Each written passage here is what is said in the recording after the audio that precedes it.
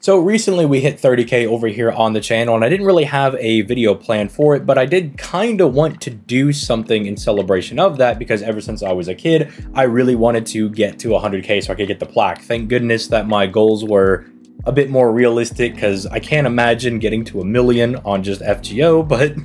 getting to 30k being 30% of the way there i think is a huge milestone. You know every 10k i think is a large step towards the dream. And because of that i wanted to do some type of video. And i was like well what do i like really do? Like who do i like in fgo and i was like oh i really like morgan. But i'm like well if i'm gonna make a video on morgan it's got to be something a little bit different. Like i can't just do some clear or something because that's not really my style. I like doing more discussion type videos on the channel and I had a series about buffing and helping or fixing some servants in the game that I really wanted to kind of pick back up and thought, well, I could use this video, even though it's, you know, a bit of a gag because let's be real, Morgan doesn't really need a buff, but we're still going to treat this as it's one of the other videos in this series that I would like to do to kind of gauge interest from you guys. And I get to yap about Morgan seems like a win-win for me. You know, you guys get a, I would hope to be, an interesting discussion video and maybe even a better series to follow right after this, and I get to talk about my FGO husband. So strap in, get comfortable, like, subscribe, all that good stuff. And let's jump right into this. As per usual, for more of these discussion videos, I do have some notes, so I think I'm a bit more structured in this video. But let me just say at the very beginning here that I don't think Morgan is anywhere near getting a buff, and even if she was going to get a buff, I would think they would give it to Arjuna Alter first. Not that he needs it, but as, say, the more senior servant, I would assume they would give it to him, then give Morgan something. And at least for Arjuna Alter, though, I can think of some things that I would like to see him get in the future that shouldn't make him too much more busted. But Morgan's a very interesting servant to try to have this discussion about because Morgan, you got to remember, is one of those servants that we thought, and especially I thought, I think I was not wrong about how good she was, but I definitely think I overhyped her a little bit too much because I thought she was going to be like the third best unit in the game. She seemed so insane as both a DPS that could also be a support and that would also meld very well into challenge quests. The real bummer with Morgan wasn't that, well, she wasn't good in challenge quests and she wasn't good for farming or she wasn't a good kind of pseudo support. All of those things were very true. It was the fact that her damage wasn't as high as we thought she was going to be at because she's a berserker. You expect them to do a lot of damage. They're super effective against pretty much everybody in the entirety of the game. But as somebody that has NP1 Morgan on the JP side of things and somebody that has an NP5 Morgan on the NA side that is now about 116 2k 2k FOD, her non-power mod damage is really, really bad. It is nothing super great. I mean, at least if you get her to NP5, which, you know, just it's that easy. Just simply get the servant to NP5 to have what I would say is very average or mediocre damage, right? It is acceptable to get across the finish line, but definitely going to want to have somebody like Oberon in the back pocket just to ensure that you're actually getting those clears on various free quests. Now, not as big of a deal if you're going into challenge quests because like I said earlier, as a CQ servant and as a pseudo support, she functions very, very well in those regards. But that was the one thing that kind of took away from her being the ultimate all-rounder. Now, I'm not saying that we're going to do something to make her a better farming servant, although that is something that I'll bring up later. But if you look at everything that Morgan does, it is hard to think of something that you would want to give her. Her first skill is a very well-rounded skill, allowing herself to not only get attack, but lower the defense of all enemies, which technically, if you bring another, say, pseudo-support DPS, that is increasing their damage twofold as well, because they're not only getting the attack buff, but you're also lowering the enemy's defense. And God forbid we then get a servant that has power mod on somebody that has lower defense, that'll just age very, very nicely. Or somebody that can compound the effect of defense down, kind of like, say, Evil Curse or Toxic or Severe Burn, where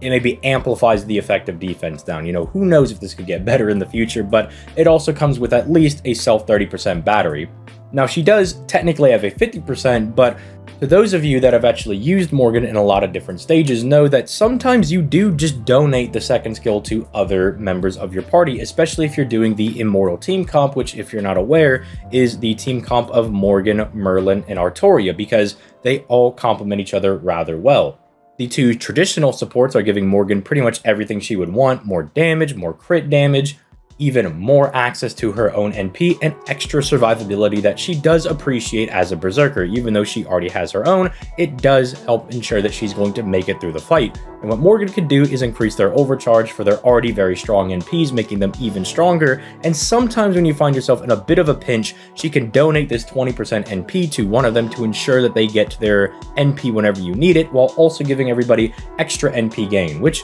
is very, very nice, seeing that you're going to be spamming arts cards all over the place. They just got even better. And it also really helps that she does not have to be babysat by Merlin and Castoria because she does have her own method of survivability. There are some servants that are really good DPSs but have basically next to none or no type of survivability buffs on their own, so they really do have to be babysat by the supports, and sometimes that can cost you a run. But Morgan at least having her own guts is not only nice that she can take care of herself, but it's layered survivability because Merlin gives you invincibility, Castoria mainly gives you solemn defense, even though she can also give you a targeted invincibility on her third skill, and Morgan has a gut. So it's not as though you're wasting different survivability buffs. Say, maybe you need to give Morgan the threat against humanity buff, but then also want to go for the AoE invincibility because there's an enemy NP coming in. While you're still getting all the benefits of Castoria's third skill, it can feel a little bit bad to have to waste the survivability if you need it later, but thankfully because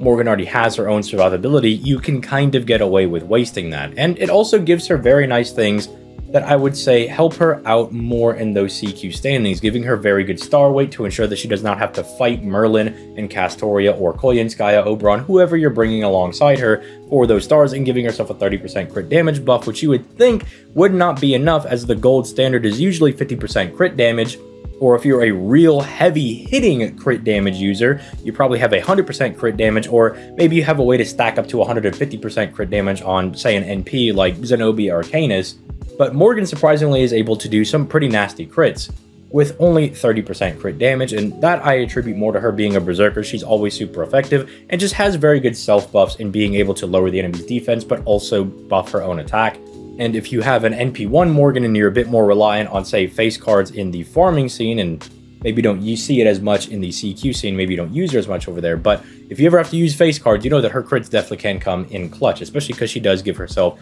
the additional 15 stars to kind of bottom out whatever stars you might have from 20, 30, or other skills that you might be using. It also has an interesting effect to lower all enemies' attack and crit chance by 20%. That is something that I would like to kind of circle back to later because while it is a very nice buff for her to have, I do think it is one of the weaker things that she has that maybe is intended to protect her a little bit as a berserker and you know make her take less damage but at the same time she's a berserker you know 20% attack i don't really think is going to be saving her from any you know offhanded crits or nps here but maybe it does allow her to survive the odd attack every now and then as long as you back her up with extra survivability like say merlin's np to give her some sustain her own NP is aging quite nicely. I mean, when it came out with the manpower mod, that was already very strong, as there are a ton of servants that have the man trait, and there's a ton of random free quest enemies that also pack the man trait. So whenever you run into a free quest or a challenge quest that has anybody with man attributes, she absolutely dunks on them. To give you a bit of a comparison, she hits around as hard as Arjuna Alter when she has the man attribute power mod up, if not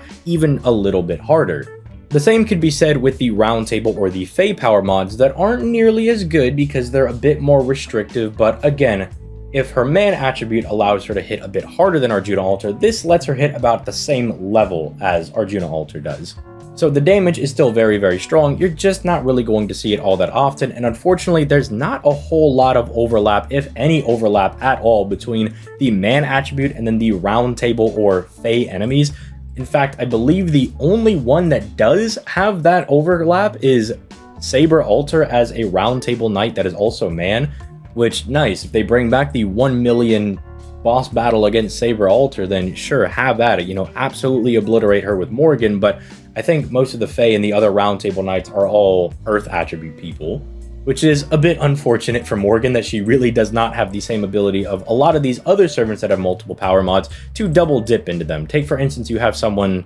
like Melusine that has the Chaotic and the Earth attribute power mod. That has a lot more overlap than these specific traits. It is a little bit unfortunate, but hey, what are you going to do when they give you three different power mods to cover a bunch of different bases? We still take it. Obviously, her NP also does the overcharging the party stage by one time for three turns. Very, very nice, not only for herself on a subsequent NP, getting that buff to her own power mod, but also buffing people like, say, your Merlin or your Castoria and giving them extra stars and, more importantly, even more solemn defense. Normally, I would rag on her having the random curse on her NP over here because I'd say that random damage over time doesn't really mean anything. But if they're going to give us more fights, like say the high damage reduction crabs that we fought during the Tesla Fest a couple of months ago, then this could just be a very convenient thing for her to have in the back pocket. And we actually got a newer version of Honey Lake, the CE that gives you burn power mod in the CE called, and man, this is a mouthful, the method to walk on the stars. That doesn't give you the same pierce invincibility that Honey Lake does, but it does give you a 50% starting gauge and a 25% curse power mod,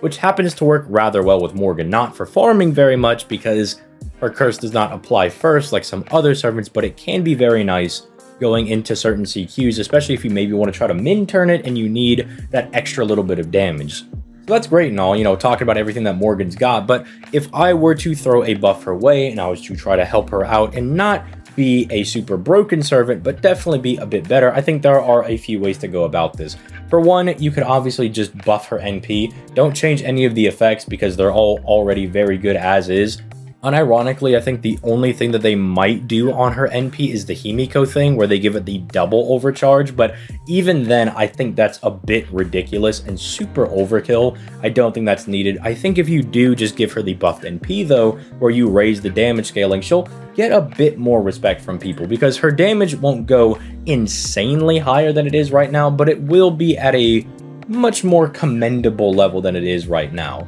In that same vein, you could also apply, say, another damage buff onto her second skill. This worked wonders for Gilgamesh at the beginning of the year when they gave him the extra NP damage buff. You could do exactly that for Morgan's second skill. Although the reason I don't necessarily like it is that might make it targetable, which means it does take away a little bit of the utility of targeting one of your supports to give them the extra NP. So if they do something along those lines, I would appreciate if the NP battery would still be targetable, but then maybe it's just a 20 or maybe even 25% NP damage buff for the entire party for three turns if you want to keep it in line with the same NP gain rate that the second skill has, even though that's kind of supposed to just be a parallel to Castoria's second skill I think something along that line could actually make her a bit better because it gives her another damage type and it makes her play a lot nicer with Oberon. But that's more just for her being better when you go into farming because typically if you're bringing Morgan to a CQ, sure, you can use her to min turn things, you can use her to burst down enemies, but she's particularly known for the fact that she is very good for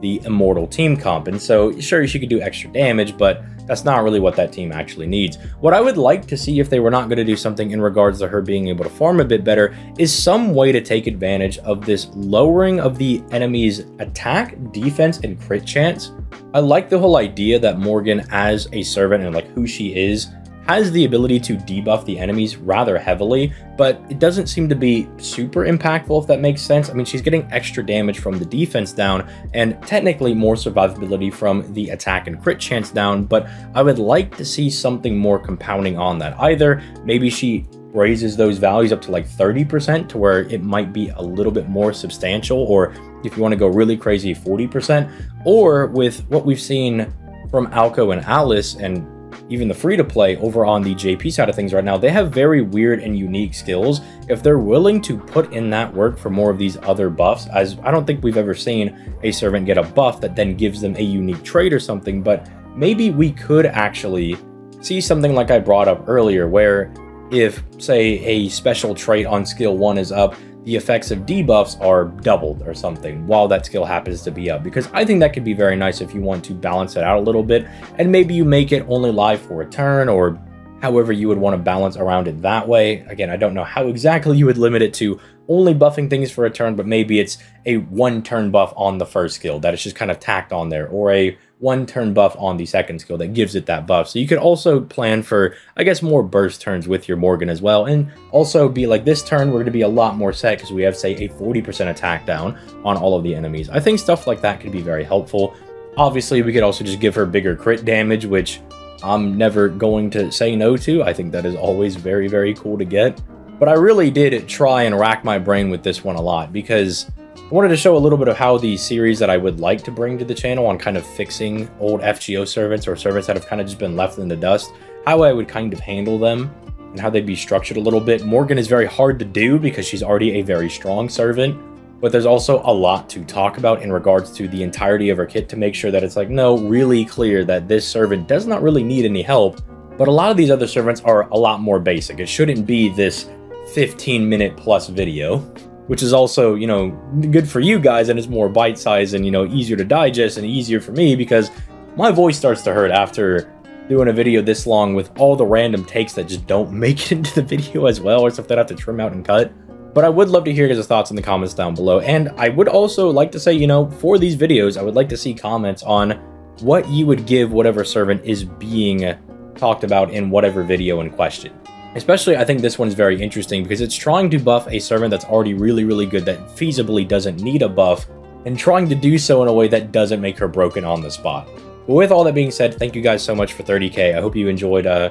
I don't want to call it like a gag video or anything, but it might seem as kind of like a bit or a gag to some people, but I would like it to hopefully lead into another series on the channel, especially during some of these slow periods. I think these are very fun to have. So let me know those thoughts in the comments down below, and I will catch you guys in the next video. Peace, late guys.